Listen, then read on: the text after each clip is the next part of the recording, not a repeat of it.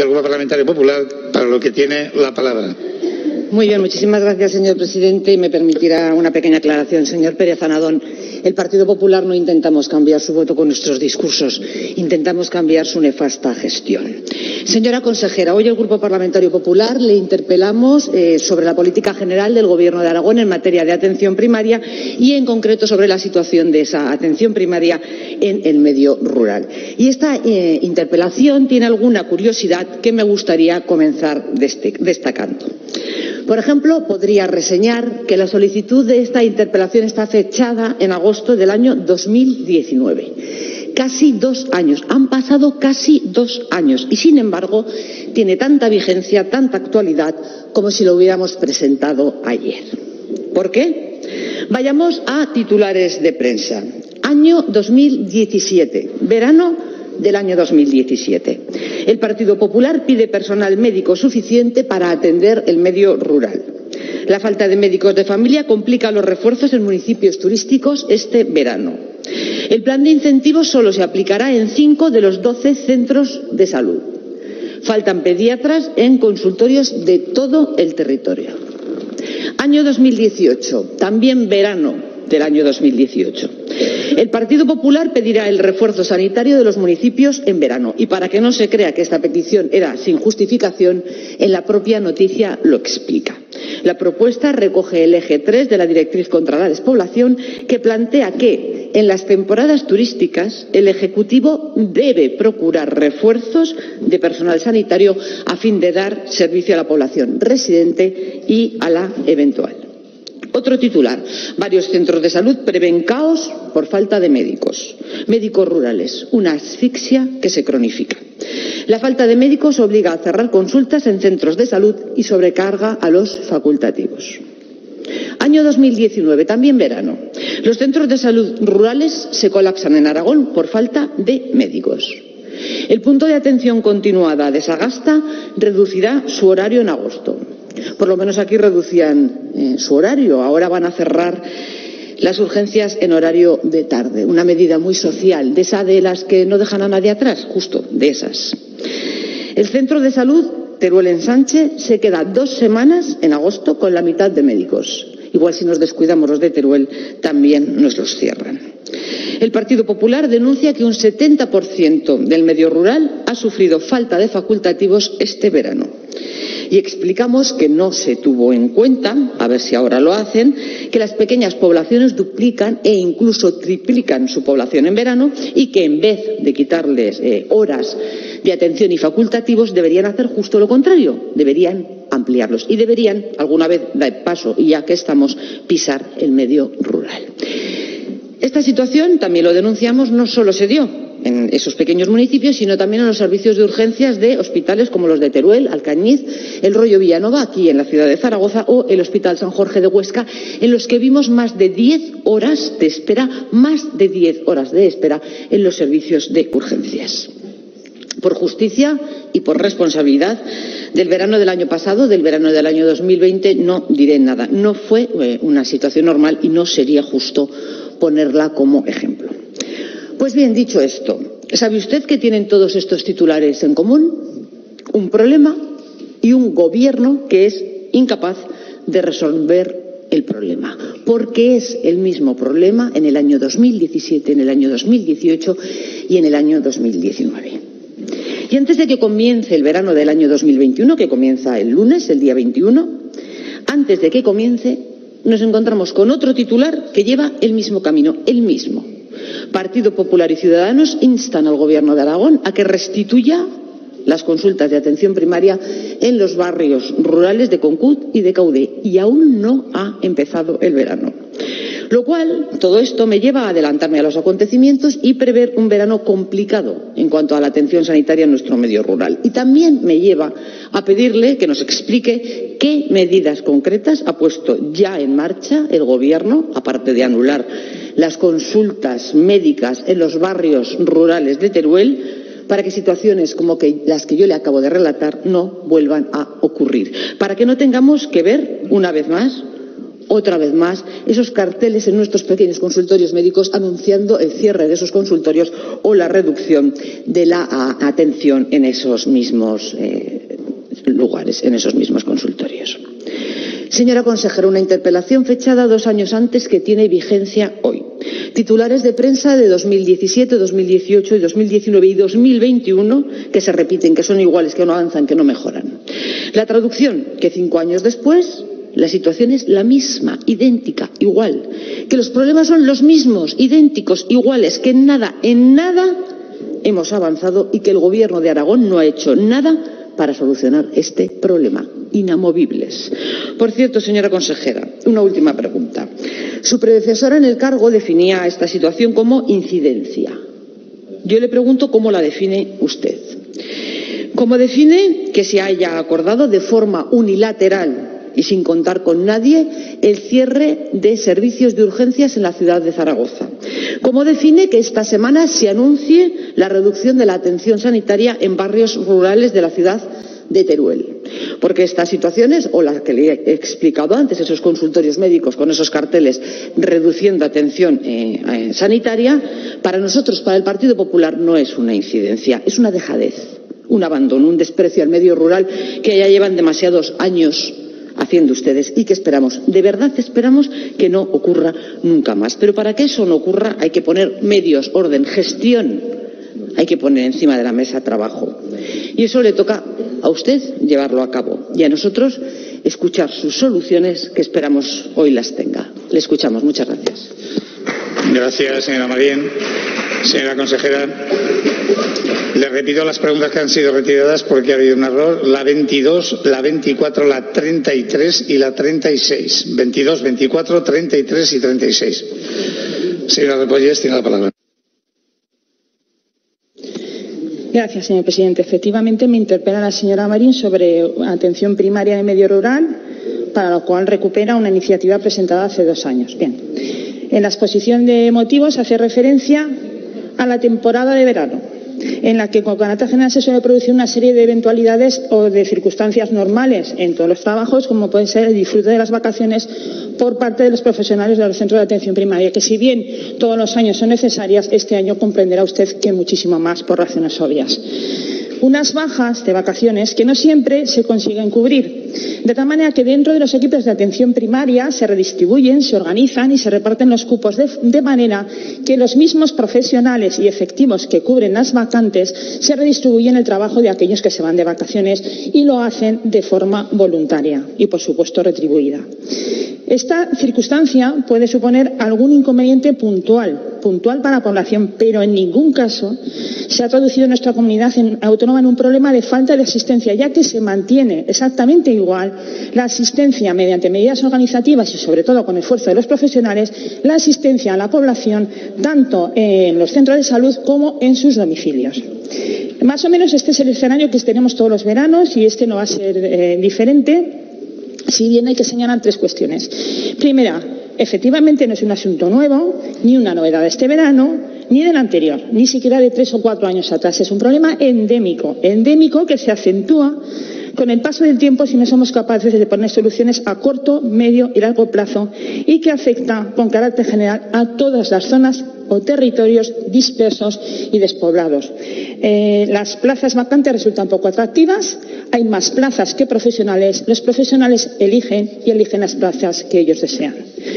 Y aquí vea la segunda cuestión. Aragón comparte este problema con todas aquellas regiones o comunidades autónomas que tienen la misma estructura de población. Población dispersa, grandes eh, espacios de población, muchos núcleos eh, pequeños y un envejecimiento de la población. Entonces paso ya a la tercera, la tercera cuestión sobre el asunto de la cobertura de plazas en el medio rural. Lo que sí que es de nuestra competencia y, por tanto, sobre el sí, lo que sí que podemos influir y es la política de recursos humanos. Bien, el Servicio Aragones de Salud viene apostando por la estabilidad y consolidación de empleo al menos desde 2015-2016. Además, en 2017 se puso en marcha el Plan Operativo de Incentivos para Profesionales en Centros de Difícil Cobertura que fue pionero en este ámbito y que posteriormente ha servido de referencia para propuestas similares en otras comunidades autónomas. Este plan ha favorecido la contratación de profesionales con medidas como las siguientes. Tengo que recordar además que los puntos de difícil cobertura en este momento son 38, creo que usted ha dicho que eran cinco puntos de difícil cobertura, son 38 aquellos que están incentivados con estas medidas del plan operativo de incentivos. ¿Qué son? Reconocer méritos extra a los médicos que ocupan plazas en esos centros para convocatorias de OPE. Es decir, cada uno de los meses que trabajan se reconocen 0,125 puntos por mes trabajado. Esto facilita a los profesionales mayor capacidad de promoción profesional y mayor eh, capacidad de movilidad. En segundo lugar, flexibilizamos también el concepto de mejora de empleo, permitiendo que los interinos que ocupan estas plazas de difícil cobertura, transcurrido un año desde su nombramiento, pueden solicitar destino en cualquier otra localidad como mejora de empleo, cuestión que no pueden realizar los que ocupan eh, estos puestos de trabajo en aquellos puntos o centros de salud que no son de difícil cobertura. Esto también les proporciona más opciones de promoción y más opciones de movilidad. En tercer lugar, facilitamos la contratación de profesionales profesionales extracomunitarios.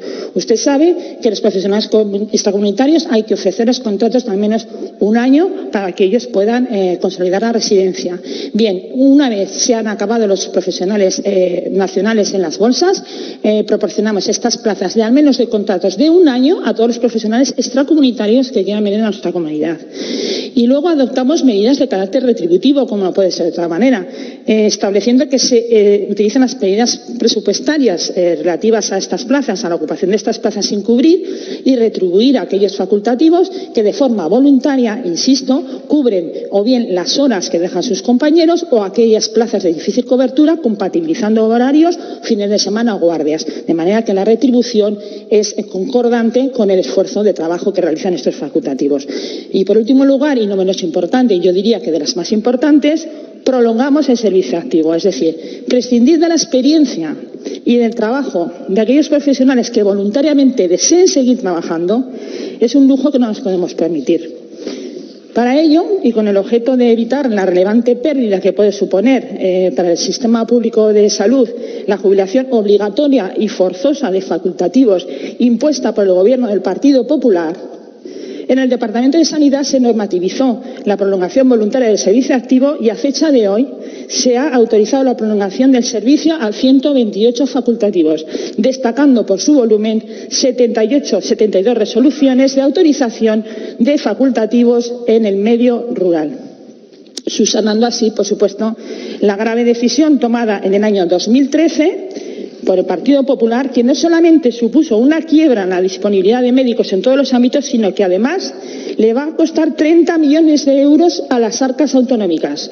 Esto sí es un problema. 30 millones de euros, que fíjese usted lo que podríamos hacer con 30 millones de euros en el medio rural. Pero bueno, en definitiva, a pesar de tratarse de un problema que afecta a todas las zonas alejadas de núcleos urbanos, desde que está el Partido Socialista en el Gobierno, el Departamento de Sanidad está haciendo todo lo que sabe y todo lo que puede para cubrir esas vacantes y minimizar las consecuencias que se puedan derivar en la población. Gracias.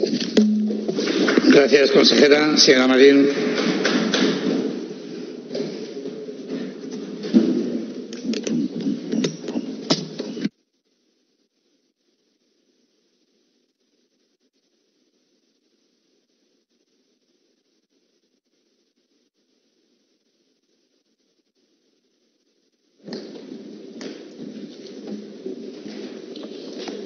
Gracias, señor presidente. Pues claro, consejera, por ese motivo, por hacer el Gobierno de Aragón todo lo que sabe y todo lo que puede, hace unos días deciden restar eh, atención a, las consultas de mm, barrios rurales de la ciudad de, Teruel y por todo eso que está haciendo el Gobierno de Aragón, por todo lo que sabe y por todo lo que puede, deciden eh, pues también eh, cerrar las urgencias en los centros de salud de la ciudad de Zaragoza. Y por todo lo que sabe y todo lo que puede hacer el gobierno de Aragón también por eso pues tenemos a una comarca entera de la provincia de Teruel a la comarca de las cuencas mineras reclamando en las calles eh, una atención sanitaria que se merecen y que además es su derecho. Todo lo que sabe y todo lo que hace el gobierno de Aragón realmente señora consejera resulta ser muy poco Señora consejera, que faltan médicos eh, es evidente. Eso es evidente y lo sabemos todos, pero es que no es la excusa. Ustedes no ofrecen contratos atractivos para cubrir el verano. Así no atraemos a los profesionales. Así no podemos competir con comunidades autónomas vecinas. Explíquenos cuál es el tiempo de los contratos que el Gobierno de Aragón ofrece a esos médicos y explique cuál es el tiempo de los contratos que las comunidades autónomas de nuestro alrededor eh, ofrece a esos profesionales y entonces llegaremos a la conclusión o entenderemos por qué nuestros profesionales, por qué nuestros médicos se van a otras comunidades autónomas sin ir eh, más lejos a Cataluña o a La Rioja. Explíquenos por qué no se aplica el plan de incentivos para municipios de difícil cobertura, porque es que no se aplica y usted lo sabe, no se está aplicando. No se cumple ese plan de incentivos. Las condiciones en las que trabajan los médicos eh, del medio rural son condiciones muy difíciles. Son condiciones en las que muchas veces no tienen conexión a Internet, es que no tienen medios de transporte, no tienen apoyos. ¿Dónde está la prometida eh, reforma de la atención primaria, señora consejera, que prometieron ustedes en el año 2016? allá por 2016. Esa que era imprescindible, la recuerda, la calificaron ustedes como imprescindible. Ustedes no han puesto en marcha medidas para estabilizar las plantillas. Ustedes no han puesto en marcha medidas para asegurar que esas plantillas eh, sean completas para que los profesionales puedan optar a vacaciones, puedan descansar sin causar perjuicio ni a los pacientes ni a sus otros compañeros.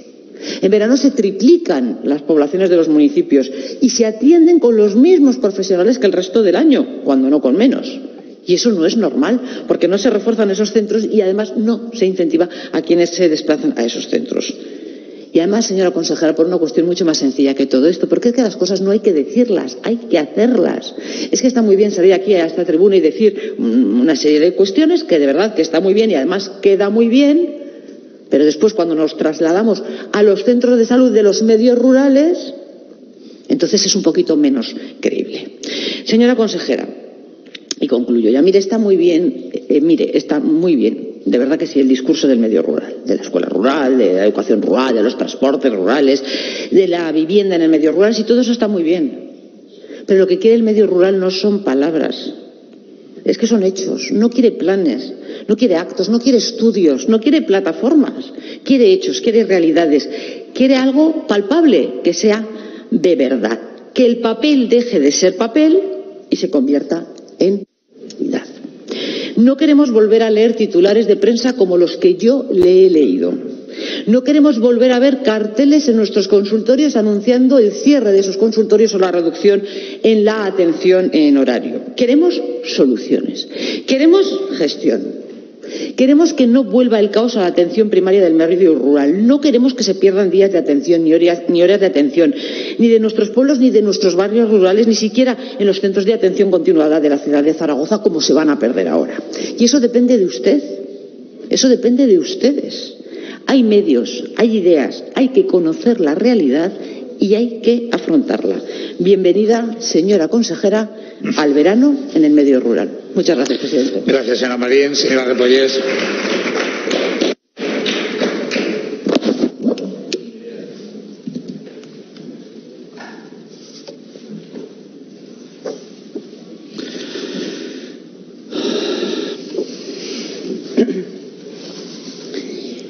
Señora Marín, respecto a la contratación y la aplicación de los planes de incentivos, en los, especialmente en aquellos eh, puestos de trabajo de difícil cobertura, tengo, decir que, tengo que decir y dejar constancia que en el ámbito de la atención primaria rural, en general, y en los centros de difícil cobertura, en particular, se realizan siempre contratos de larga duración, como mínimo de seis meses.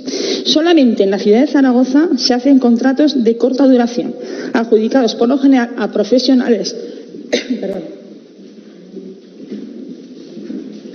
adjudicados por lo general a profesionales que no están dispuestos a movilizarse al medio rural a pesar del plan de incentivos y que eligen voluntariamente ocupar plazas en Zaragoza capital por su ubicación, siendo plazas de menor retribución económica y siendo plazas que son contratos de tres meses como máximo. O sea, que no se aplique el plan de incentivos es absolutamente incierto. Por ello, puedo asegurar que cuando algún profesional de atención primaria decide trasladarse a trabajar a otra comunidad autónoma, lo hace por razones personales, única y exclusivamente, vinculadas a la ubicación de la plaza que se le ofrece en esta comunidad autónoma.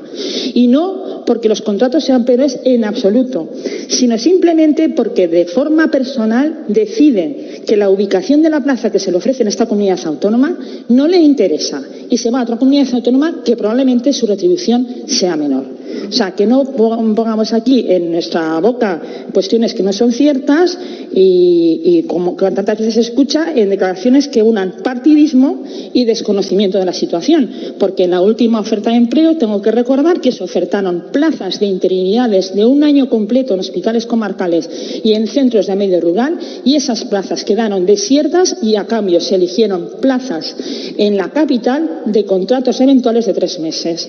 Entonces, esta es la realidad. Nuestra comunidad autónoma tiene un sistema sanitario fuerte, un sistema sanitario que la gente valora como bueno, tiene unas peculiaridades como comunidad autónoma, como son la amplia extensión territorial, la dispersión de la población incluso el envejecimiento de la población, que la hacen peculiares en el momento de tener que cubrir plazas, que hacen que se incremente la dificultad y que es un problema que no tienen solamente nuestra comunidad, sino todas las comunidades que comparten esta peculiaridad. Y por ahí tengo que ir mm, por, simplemente por recordarle. En Burgos en noviembre de 2020, de las 39 plazas que sacaban, 18 quedaron desiertas. ¿Por qué quedaron desiertas? Por el mismo problema.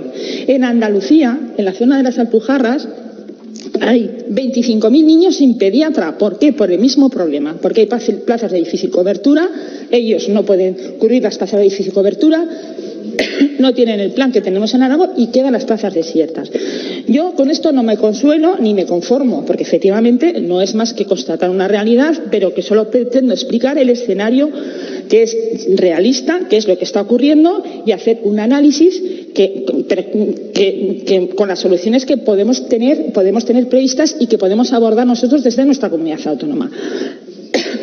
La falta de cobertura no es culpa del Gobierno, aunque sí tiene color político. ¿Por qué? Porque aquí nos movemos en las leyes de la oferta y la demanda. Por lo tanto, hay que intervenir. Primero, aumentar el número de profesionales sanitarios que tenemos disponibles para cubrir las plazas. Esto no es algo que nosotros podamos hacer, pero sí que podemos incrementar la oferta de formación. En este sentido, el Ministerio este año ha ofertado un 10,5% más de las plazas de MIR y Aragón, en concreto, ha, ha incrementado su oferta formativa en profesionales como médicos farmacéuticos psicólogos en un 19% y si esto aunamos el personal de enfermería hemos incrementado el número de plazas en un 22%, es decir, hemos pasado a 35, 15 plazas, 57 más que en el ejercicio anterior.